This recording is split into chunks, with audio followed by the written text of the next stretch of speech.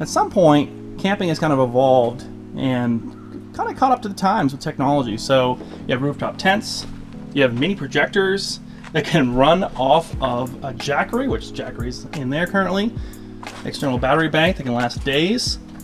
You have water jugs, you know, pretty simple stuff, easy to wash your hands. And then you have a camping sink that is touch activated. All right, Colton, what are we looking at here? A Dometic Go hydration faucet. Wow, that was quite a mouthful, my friend. Yes, this is the new Dometic Go hydration faucet and the Dometic Go jug. That is about 2.9 gallons of water. Show how it works. So this is a faucet. This is a game changer. This is a sink you can have in your campsite. It's a sink you can have like in your RV, in your camper van. So what do you do? You tap this water sink And it pumps it right out of this jug. So what do you do? Double tap the starter. Double tap the starter. Show us. Light goes on. Light goes on under here too, right? Go. Yeah. Ah. Yeah. Light goes on right here. 150 liters in between charges. And if you look over here, you have your charging port right under here. So you can get in there. All protected. So the bottom, right? Real simple, lightweight design. Yep. Bottom is a tube here coming out one end. Yep. It's just a push push mechanism, just kind of pushing the tube. Here is a little bit more advanced. So here you have this button here that releases the tube.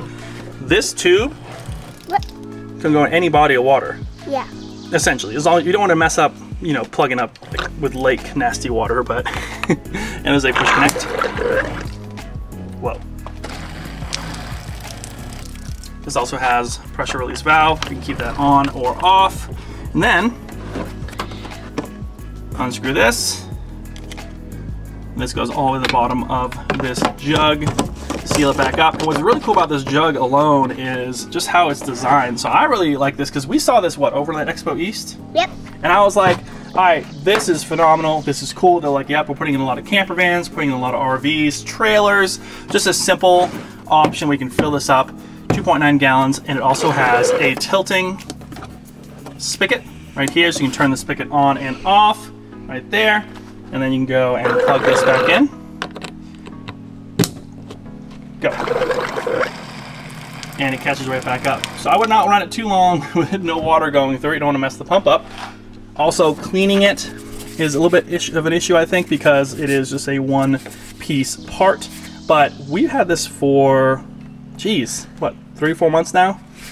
yeah. Bringing it on campouts. We brought it on road trips, right? And it's great for the kids because you can just slap this down and go. And wash your hands wherever you go. Fill up your water. You have drinkable water, hands washable water for your hands, for you know the babies getting all sticky fingers. As far as storage goes, and also kind of in line with that cleaning, I would actually run it for a little bit with nothing connected to it. Take this hose apart, shake it out, get as much water as you can out. You can even blow it out if you want, get some air in there. This right here, run it for a minute. Try to get some of that water out.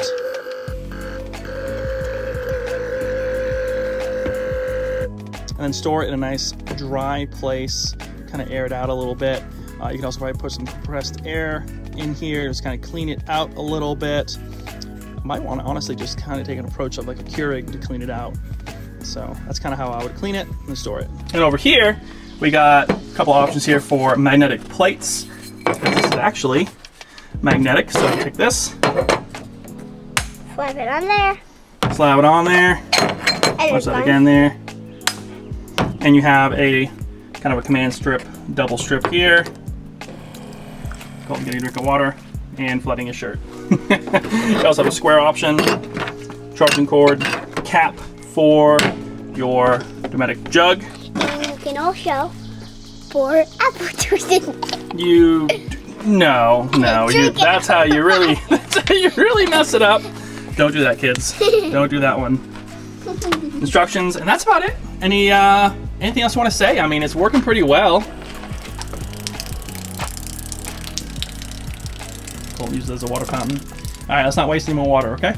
Because we only have a limited amount of water on the campsite, even though we are leaving today. But you never know. You never know. This combined with one of these, honestly, I used to take like the one five gallon, but now you have, uh, I believe, a, a two gallon, and you have a 2.9. So you have the five gallons. So, and then you have a good option for. I use this for water bottles, right? Uh-huh. So you have that for water bottles, real simple, easy to use, doesn't leak or anything. This doesn't leak either. And then you can run this. Um, I saw this at over in the expo. They actually just attached it just like that on the top with the magnetic piece, and then you can go and take this off if you want to take the strap off. Pretty nice. Carry handle, easy to use. Take the whole thing with you. Really not that bad. Dometic comes out with some really cool things. So thanks so much for watching, guys. Hope you enjoyed this. You can pick this up down in the link below.